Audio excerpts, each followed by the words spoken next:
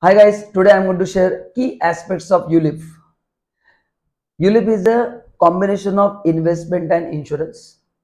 So your life will get secured plus you will get good return also in terms of growth. Second point, you will be allotted units instead of share, you will be allotted units and the price of units depend on the net asset value which is called as a NAV. So when NAV increases, obviously you will more profit. When NAV goes down, obviously you will incur loss. There is a lock-in period of five years. So after five years, you can withdraw the money. But in event of death, uh, you can get money any point of time. So whatever fund value is there, plus sum assured, entire amount will be given to you.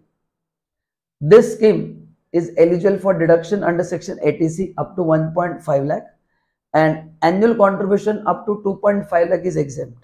So if your contribution is about 2.5 lakh, then it is taxable. So I hope you like this information. So please like the information and don't forget to share with your friend. Thank you so much. Bye bye.